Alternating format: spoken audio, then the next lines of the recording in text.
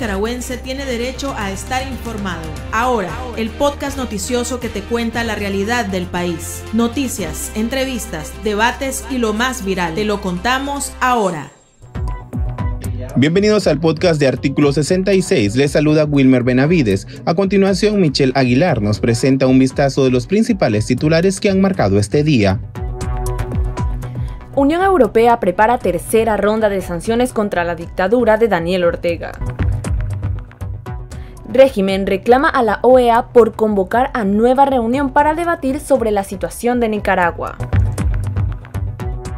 piden a la Cruz Roja Internacional salvarles la vida a los presos políticos de la dictadura.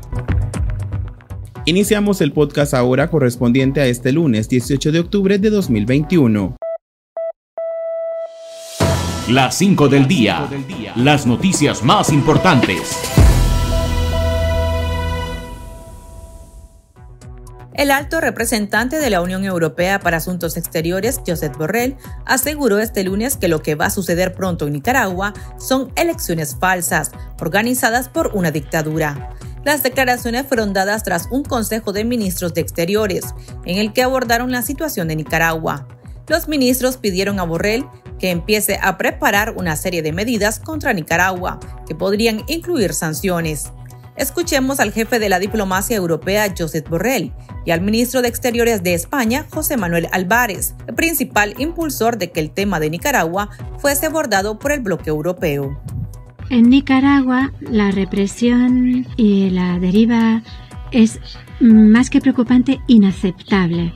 Desde 2018, la supresión violenta la opresión violenta, perdón, ha llevado a 328 personas muertas en la calle por esta represión violenta. 328 personas asesinadas. El presidente Ortega y su mujer, la vicepresidenta Murillo, han eliminado a mm, la oposición política, asegurando su victoria en las próximas elecciones del 7 de noviembre, encarcelando a todos los opositores. Esta es una de las peores dictaduras del mundo. La Unión Europea va a continuar insistiendo en la democracia, derechos humanos, Estado de Derecho, la liberación de prisioneros políticos, la vuelta de las ONGs y organizaciones de defensa de los derechos humanos y elecciones libres, puesto que las que se van a celebrar ahora en breve son eh, falsas organizadas por una dictadura. Hay dos puntos evidentemente muy relevantes para España. El primero es Nicaragua, que se ha introducido a propuesta española, donde en estos momentos asistimos a una deriva que cuando menos podemos calificar de autoritaria y en la que España está teniendo una voz clara y firme y está arrastrando al resto de los países europeos y de la comunidad internacional y liderando el proceso. Vamos a explicar la situación y vamos a intentar que tomar una decisión común y una postura común ante esas elecciones que llegan el 7 de noviembre y en las que creemos que no se dan las garantías eh, mínimas para poderlas considerar como creíbles por parte de la Unión Europea. Y lo que tenemos que analizar es cómo podemos contribuir de la mejor forma posible a que esa deriva en estos momentos de Nicaragua se frene, cómo poder revertir la situación y cómo debemos actuar si, como todo apunta, las elecciones del 7 de noviembre se van a celebrar sin ninguna garantía. El régimen Ortega Murillo protestó ante los Estados miembros de la Organización de Estados Americanos el próximo 20 de octubre debatirán sobre la situación de Nicaragua. Mediante un comunicado, la dictadura manifestó que es inadmisible que otros estados juzguen a otro pueblo libre. Por tanto, rechaza la reunión y declara que no participará en la misma por considerarla ilegítima. El grupo político Hagamos Democracia, junto a otros grupos de exiliados y miembros de la diáspora nicaragüense en Costa Rica, impulsan un proyecto dirigido a incidir en la comunidad internacional para que declare ilegítimas las elecciones en Nicaragua en un comunicado, manifestaron que los exiliados podrán conocer el inerte diálogo nacional que la dictadura de Daniel Ortega pretende vender, así como la falsa reactivación económica y de las elecciones carentes de legitimidad. Mientras daba declaraciones a medios de comunicación, el jefe del ejército de Nicaragua, general sancionado Julio César Avilés, aprovechó para insinuar que los nicaragüenses deben votar por Daniel Ortega y su esposa Rosario Murillo, en sintonía con el discurso gubernamental. Avilés manifestó que no habrá desarrollo ni bienestar en el país mientras existan personas que apuntan a escenarios de violencia, señalamientos que el régimen hace a los opositores y a presos políticos. Esto dijo el jefe de la institución castrense, supeditada a la pareja dictatorial nosotros eh, hacemos un llamado a todo nuestro pueblo de que hemos de saber identificar plenamente qué es lo que más nos conviene como nación. La inseguridad, la alteración del orden público o la seguridad, la tranquilidad, la estabilidad y la paz. Aquí no hay desarrollo en este país con desórdenes de ninguna naturaleza. Aquí no va a haber desarrollo de este país con la alteración de la vida normal de los nicaragüenses. Aquí no va a haber desarrollo y avance y bienestar para todos los nicaragüenses en la medida que existan gente que apuntan pues, ¿verdad? a escenarios de violencia. No, no, no.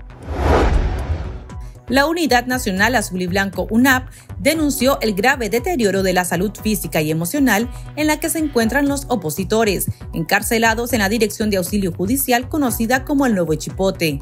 La organización reiteró su llamado a la Cruz Roja Internacional para que logre asistirlos y salvarles la vida a este grupo de presos y a las más de 100 personas que el régimen tiene tras las rejas en el contexto de las protestas sociales de 2018. Según familiares, los presos políticos sufren torturas psicológicas, malos tratos y desnutrición. El pulso. Le medimos el ritmo a la realidad.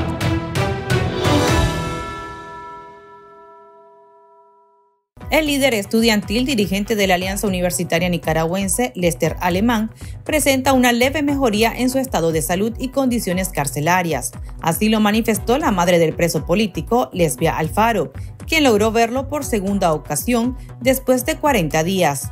Por su parte, Heider García, esposa del nuevamente preso político Pedro Mena, denunció que el líder campesino ha perdido 50 libras y tiene problemas de hipertensión. Escuchemos. Realmente me impactó ver, ver la situación que él tiene. Pues para mí es triste haberlo visto en esa situación porque realmente lo miré mal, demasiado flaquito, dice que es hipertenso, ahora tiene que estar tomando pastillas diario que le están dando ahí, pues ni él sabe que, le dan realmente. Y le dan mareo, ah, son 50 libras, 50 libras las que ha perdido de peso. Y pues solo nada más encomendarse a Dios que por lo menos salga vivo, porque ahí, ahí,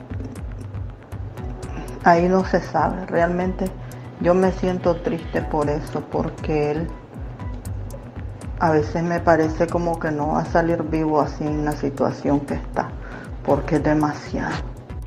Consultamos a nuestros lectores qué opinan acerca de la situación de los recientes presos políticos del régimen. Estas son sus respuestas. El chat. Abrimos los micrófonos a nuestros oyentes. La situación de los secuestrados políticos es delicada. Siguen siendo torturados. Que Lester haya una mejoría, pero que su mamá lo mira desnutrido, es una voz autorizada. Pero ¿qué indica esto? Que probablemente, lo que yo creo, que la dictadura no quiere que salga otro muerto en estas condiciones donde faltan pocos días para sellar el circo electoral. La verdad que eso es aberrante, que, lo, que estén castigando a toda la gente solo por defender y, reclamar sus derechos. Entonces ya y, que lo que esperemos es que, apoyemos todo y, ahí hagamos todo lo imposible por sacar a toda esa gente que está indefensa y inocentes de toda culpa. Si en su momento ellos hubieran apoyado a los estudiantes, su situación fuese diferente. Nada, ¿qué te puedo comentar? Que los están matando de a poquito. Ellos lo que quieren es quebrarlo. El exdiputado leonés e integrante de la coalición nacional, José Palé, de 68 años, ha perdido 50 libras durante los 131 días que tiene de estar cautivo en la Dirección de Auxilio Judicial conocida como el Nuevo Chipote. El periodista de Artículo 66, Noel Miranda, conversó con la esposa del opositor, Gilma Erdocia. Ha perdido más de 50 libras, está débil, débil, tiene muchos mareos, dolores de espalda, eh, está con disnea eh, son una serie de cosas que son complicaciones posteriores, pues él ya tenía su, su condición preexistente, que era pues sus su problemas de presión, de azúcar y tal, pero ahorita tiene todas estas cosas que son nuevas, pues, que son producto definitivamente de la mala alimentación y del, y del trato, quién sabe qué, qué, qué, qué será, pues, pero la verdad es que preocupada, muy preocupada salí Doña Gilma, ¿qué le dice don José? ¿Qué conversan ese poco tiempo que le da la policía, que es la segunda visita que ustedes tienen? Segunda visita en más de cuatro meses, sí. La preocupación de él es su familia, sus hijos. Él pregunta por todo, por la situación también, porque la verdad es que no tiene noticias. Está totalmente aislado del exterior, no tiene ni una sola noticia, no le dejan periódicos ni nada, nada, nada, absolutamente ni siquiera un libro para distraerse. ¿Le ha preguntado sobre el contexto social que vive en Nicaragua, fuera de las celdas? Pues sí, me ha preguntado qué ha pasado, quién está, quién está, nada más, pues. ¿Qué ha pasado? ¿Cómo está? Y yo le trato de darle las noticias a mi manera, lo que sé. ¿Y su espíritu, su espíritu político, su espíritu de, de ciudadano nicaragüense que, que ha luchado por la democracia, cómo está? Yo lo encontré muy animado esta vez. Esta vez lo encontré bastante animado. Bueno, tuvimos más oportunidad de hablar, así es que él está firme, fuerte. En, el aspecto moral está firme, fuerte, pero, pero físicamente está muy débil, físicamente está muy mal. Todo el, el sufrimiento que viven los presos políticos es considerado tortura, pero han sufrido también tortura física eh, golpes eh, psicológicos también, tortura psicológica. Bueno, de tortura psicológica es estar encerrado, definitivamente, es decir, no tener acceso a, un pinche libro. Eh, así es, definitivamente. Ahora, física, no sé lo que considera física, porque golpes no creo que haya tenido. Sin embargo, el problema del alimento esa baja de peso sustancial está dejando consecuencias físicas serias. Eh, el dormir eh, sin, sin, cobija, ahora ya le aceptaron una cobija del pequeño. Pero el dormir sin cobija durante más de tres meses, por favor.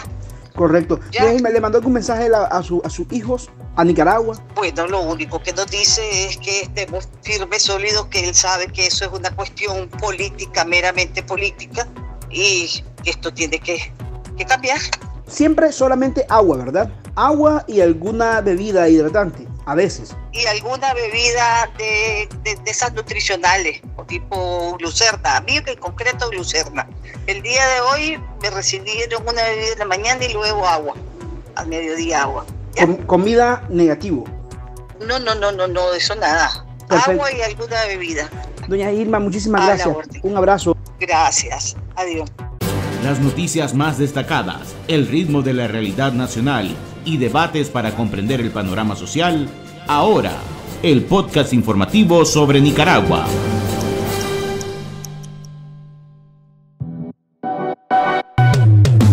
Tendencias, la viralidad de las redes sociales. La Embajada del Reino Unido respondió al llamado de los pobladores de la ciudad de Matagalpa, quienes a través de las redes sociales solicitaron ayuda para una ciudadana de origen británico, que se encuentra en situación de indigencia. La mujer fue identificada como Rebecca Lawrence y según la población se encuentra en el país desde hace dos meses. El caso se viralizó en las plataformas virtuales, al punto que los funcionarios...